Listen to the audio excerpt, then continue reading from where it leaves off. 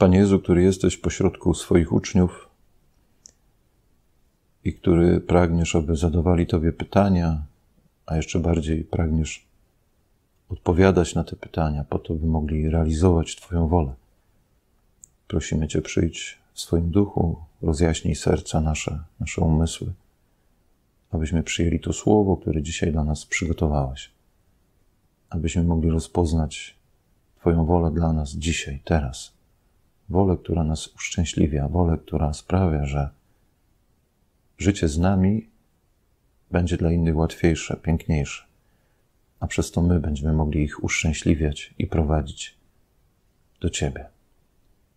Niech to spotkanie z Twoim Słowem napełni nas słodyczą, napełni nas radością, napełni nas pokojem, który żyjesz i królujesz na wieki wieków. Amen. Z Ewangelii według świętego Łukasza. Jezus, zapytany przez faryzeuszów, kiedy przyjdzie Królestwo Boże, odpowiedział: Królestwo Boże nie przyjdzie w sposób dostrzegalny i nie powiedzą: Oto tu jest albo tam. Oto bowiem Królestwo Boże pośród Was jest. Do uczniów zaś rzekł: Przyjdzie czas, kiedy zapragniecie ujrzeć choćby jeden z dni syna człowieczego, a nie zobaczycie Powiedzą wam oto tam lub oto tu, nie chodźcie tam i nie biegnijcie za nimi. Bo jak błyskawica, gdy zabłyśnie, jaśnieje od jednego krańca widnokręgu aż do drugiego, tak będzie z Synem Człowieczym w dniu Jego. Wpierw jednak musi wiele wycierpieć i być odrzuconym przez to pokolenie. Zwróciłem uwagę na dwa zdania z dzisiejszej Ewangelii, z Ewangelii na 11 listopada. Królestwo Boże pośród Was jest. I to ostatnie zdanie. Wpierw jednak musi wiele wycierpieć i być odrzuconym przez to pokolenie. Okazuje się, że Królestwo Boże ma swoją cenę. I chciałbym o tej cenie trochę dzisiaj powiedzieć w kontekście też święta narodowego, które przeżywamy. Bóg chce, żebyśmy już tutaj na ziemi budowali Jego królestwo, które urzeczywistni się w pełni w wieczności. I wszelkie marzenia o tym, że Królestwo Boże tu na ziemi się spełni, są utopią, i oczywiście jest to niemożliwe, ale przy Bożej pomocy możemy realizować Ewangelię w taki sposób, że Królestwo Boże może tutaj już się zapoczątkować. Także w Królestwie, które nazywamy Polska, w którym określamy naród żyjący w określonym ustroju i, i pragnący, żeby jego obywatele byli szczęśliwi, także tutaj na ziemi. To nie stoi w sprzeczności z Ewangelią. Zapraszamy, zapraszani jesteśmy przez Jezusa do tego, by odkrywać, że Królestwo Boże jest entos, że jest pośród nas, albo można tłumaczyć także w nas. Kiedy Królestwo Boże będzie pośród nas, to możliwe jest tylko wtedy, gdy zacznie się w nas, osobiście w nas. I tak pomyślałem sobie, gdzie Słowo Boże definiuje Królestwo Boże. Ono na różne sposoby jest przedstawiane przez Jezusa w przypowieściach. Ale święty Paweł pięknie nam mówi o tym, że Królestwo Boże to nie sprawa tego, co się je i pije. Oczywiście to jest pewien kontekst, o którym nam mówi, ale jest definicja Królestwa Bożego, że Królestwo Boże to sprawiedliwość, pokój i radość w Duchu Świętym. Sprawiedliwość, pokój i radość w Duchu Świętym. A więc takie znamiona powinno mieć Królestwo Boże pośród nas. Takimi znamionami powinny się cechować relacje pomiędzy obywatelami żyjącymi w Polsce, w kraju nad Wisłą. Myślę, że warto w tym dniu, w Dniu Święta Narodowego, o tym pomyśleć. Po pierwsze, czy Królestwo Boże jest w moim sercu i czy ono charakteryzuje się właśnie sprawiedliwością, pokojem i radością? I czy Królestwo Boże, przez to, że jest we mnie jest też pośród nas, w relacjach między nami. Do tego potrzebujemy Ducha Świętego, bo to wszystko dzieje się w Duchu Świętym. Dlaczego? Dlatego, że Duch Święty jest specjalistą od relacji. To jest specjalista od relacji. On sam jest relacją między Ojcem i Synem, między Synem i Ojcem. To jest Duch Święty. A Królestwo Boże pośród nas to są właśnie nasze relacje. Relacje między obywatelami, między dziećmi Bożymi i między tymi, którzy jeszcze się nie uważają za Bożych dzieci albo już się nie uważają za Boże dzieci, ale relacje ze sobą mogą mieć. Tak więc y, te relacje mają się cechować sprawiedliwością, pokojem i radością. Jak rozumieć sprawiedliwość?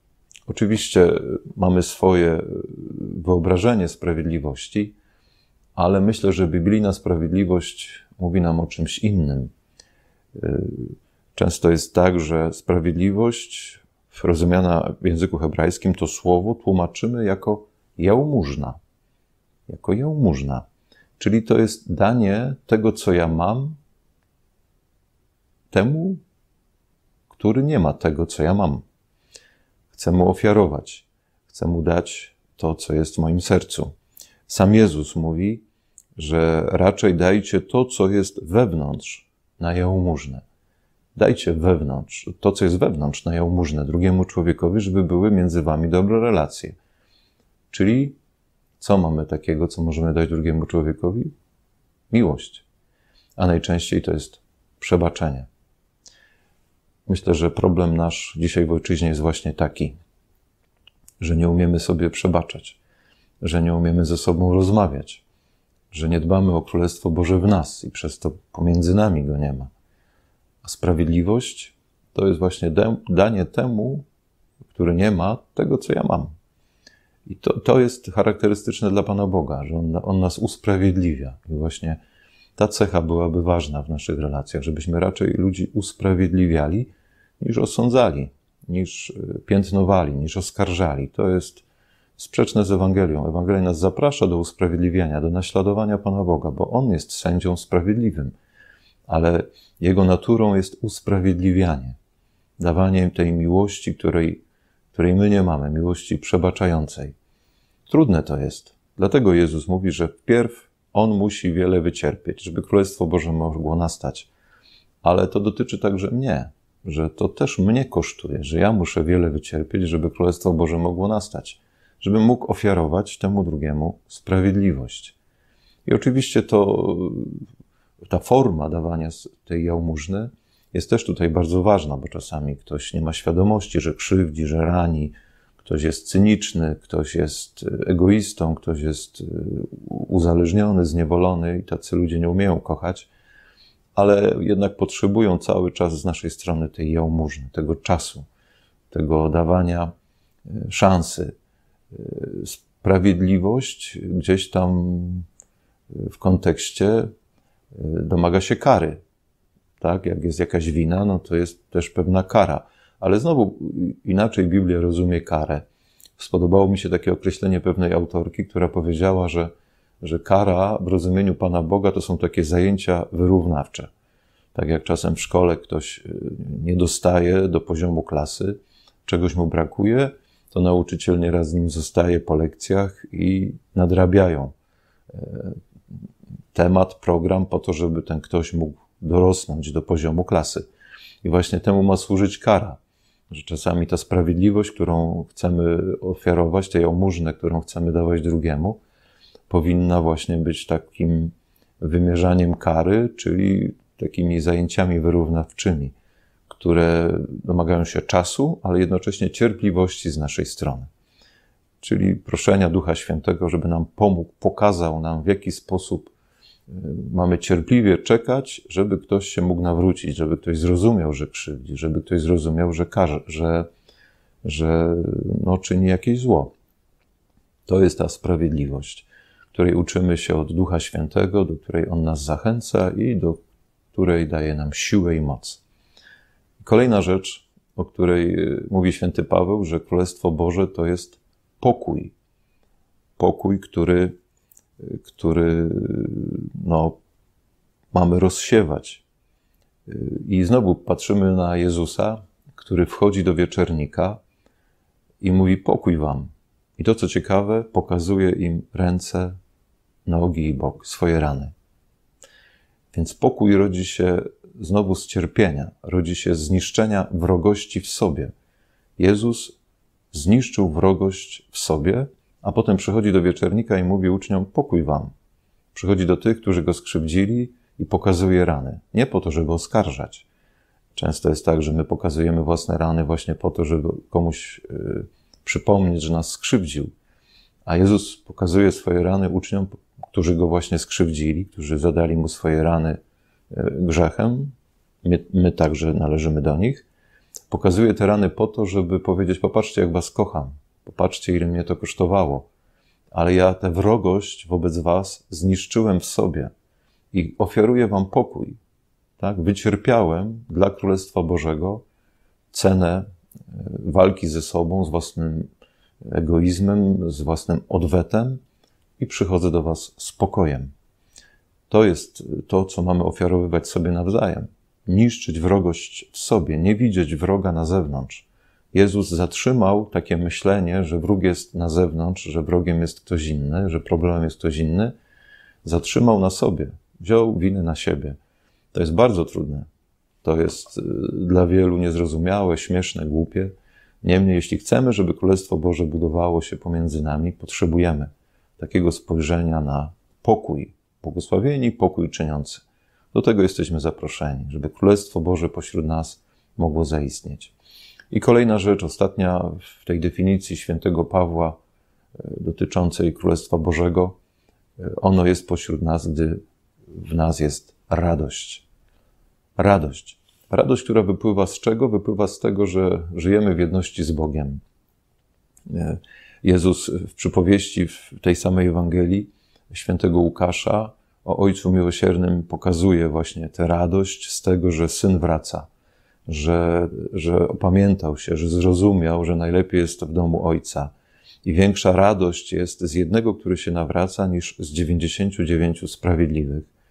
I tutaj też mamy kłopot z tą radością, bo czasami trudno nam się radować, że ktoś chciałby przyjść, że ktoś chciałby wrócić. Warto sprawdzić własne sumienie, czy ucieszyłoby nas to, gdyby ktoś, kogo nie lubimy, choćby politycznie, e, czy jakoś tam partyjnie, chciałby wrócić do wspólnoty Kościoła. Po pierwsze, czy byśmy mu pozwolili e, i czy on by chciał wrócić do takiego towarzystwa, a po drugie, czy to by nas naprawdę radowało i cieszyło, i czy moglibyśmy z nim zasiąść do stołu, tak jak ojciec z synem marnotrawnym, i radować się i weselić się. To też jest taki sprawdzian tego, czy Królestwo Boże jest pośród nas. Czy my potrafimy ze sobą nawzajem świętować, nawzajem ze sobą przebywać, cieszyć się, że ktoś chce wracać, pragnąć tego jego powrotu, modlić się o ten jego powrót. To też nie jest takie proste. To jest właśnie znowu ta cena. Wcześniej trzeba wycierpieć, żeby taki stan Królestwa Bożego osiągnąć. Módlmy się tym Słowem Bożym, które nam dzisiaj Pan daje za naszą ojczyznę. Módlmy się za te relacje pomiędzy nami, a nade wszystko módlmy się, aby Królestwo Boże było we mnie i abym miał moc, siłę, odwagę zgodzić się na to, żeby wcześniej cierpieć, wycierpieć, by potem z tego cierpienia zrodziła się sprawiedliwość, zrodził się pokój i zrodziła się radość. Pan z Wami. Niech imię Pańskie będzie błogosławione. Wspomożenie nasze w imieniu Pana. Niech Was błogosławi Bóg Wszechmogący, Ojciec i Syn i Duch Święty. Niech będzie pochwalony Jezus Chrystus.